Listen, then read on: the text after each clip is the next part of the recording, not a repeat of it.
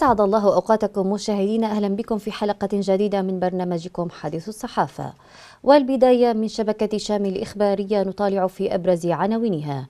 جلادي نظام الأسد يقيمون في مراكز إيواء اللاجئين حيث عرضت قناة آر تي إل الألمانية تقريرا تلفزيونيا وثقت فيه وجود أعضاء في أجهزة أمن نظام الأسد كانوا يعذبون السجناء في سوريا بين مقدمي طلبات اللجوء في ألمانيا الجمعة الماضية. ولفت التقرير إلى أن من وصفتهم جلادي نظام الأسد يقيمون داخل مراكز إيواء اللاجئين دون ملاحقة قانونية. وقالت القناة إن مراسلتها أنتونيا رادوس عثرت على بعض هؤلاء الذين يسميهم السوريون الشبيحة في مراكز إيواء اللاجئين بألمانيا وتحدثت معهم. وذكر موقع دوتشي فيلي الألماني أن التقرير وثق أن الشبيحة هم من أصحاب السوابق ومحكوم عليهم بالسجن في, بالسجن في سوريا لسنوات طويلة إلا أن عملهم مع النظام خفف عنهم العقوبات وهرب بعضهم بعد إطلاق سراحه إلى ألمانيا.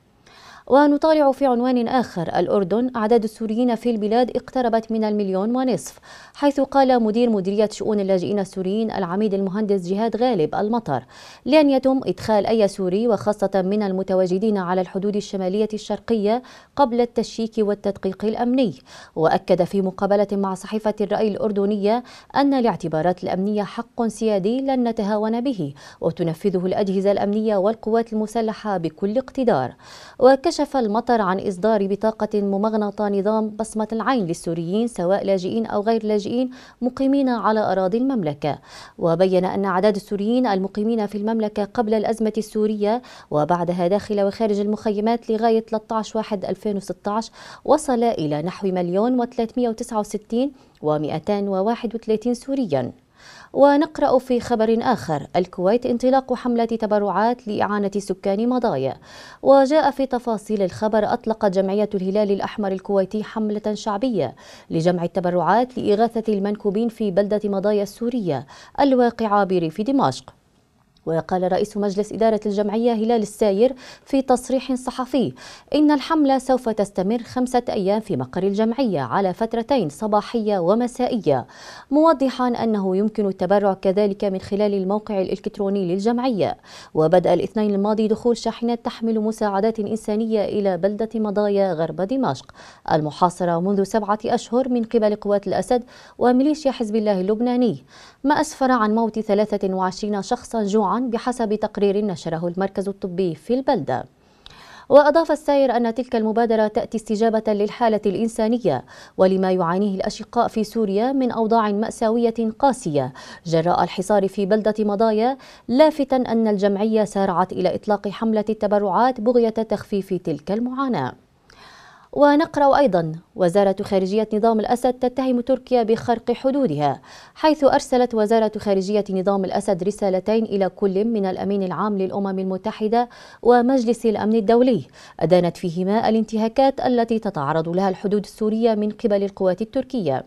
كما اعتبرت الخارجية السورية في رسالتها أن تركيا انتهكت سياسات حسن الجوار والمواثيق الدولية واتهمت الخارجية في رسالتها أيضا حكومة أردوغان وحملتها مسؤولية ما تتعرض لها سوريا طيلة الخمس سنوات الماضية.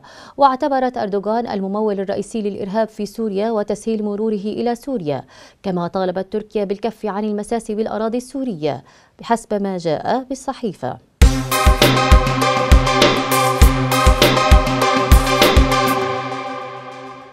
وبالانتقال إلى صحيفة عنب بلدي.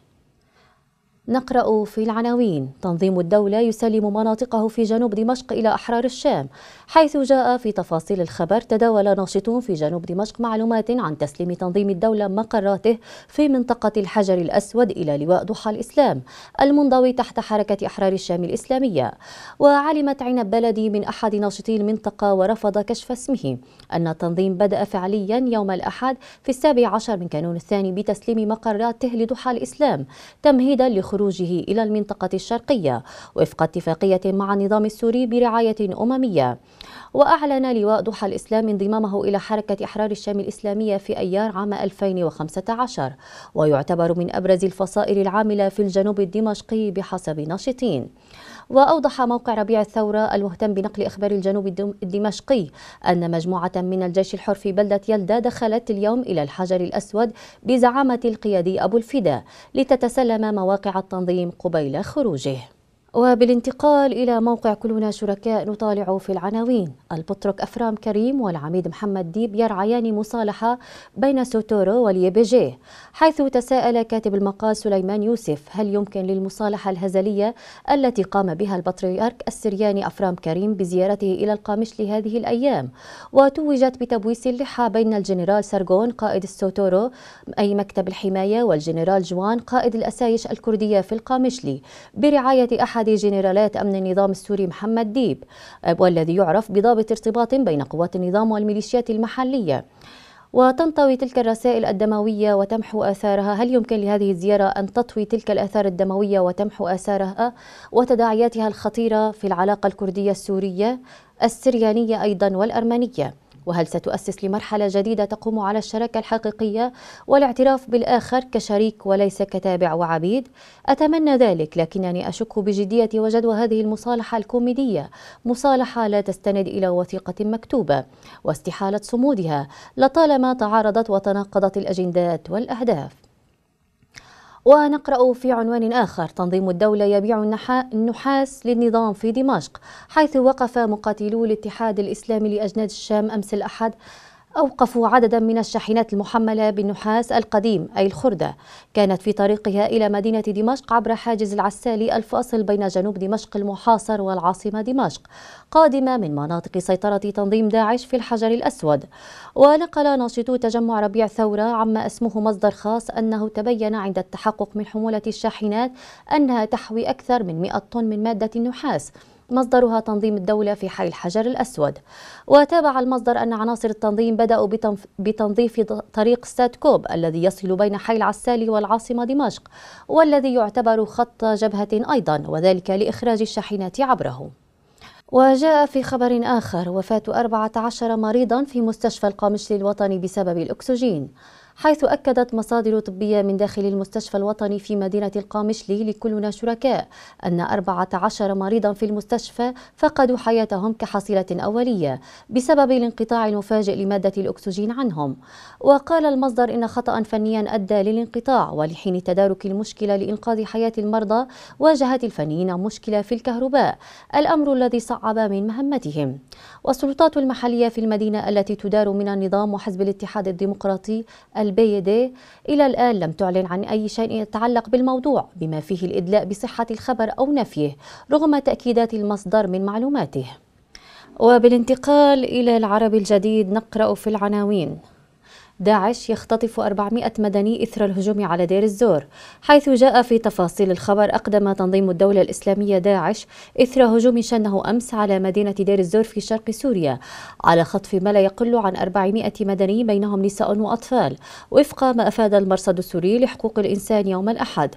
وقال مدير المرصد رامي عبد الرحمن إنه إثر هجوم داعش على مدينة دير الزور أمس خطف 400 مدني على الأقل من سكان ضحية البغيلية التي سيطر عليها.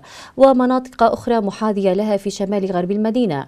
وأوضح أن بين المخطوفين وجميعهم من الطائفة السنية نساء وأطفال وأفراد عائلات مسلحين موالين للنظام مشيرا إلى نقل المخطوفين إلى مناطق سيطرة التنظيم. ونقرأ في عنوان آخر. إيران ما بعد إنجاز المهمة الصعبة ترقب وتفاؤل. وجاء في تفاصيل الخبر انتظر الشارع الإيراني طويلا سماع خبر إلغاء العقوبات الاقتصادية عن البلاد بعد سنين طويلة من دفعه الثمن.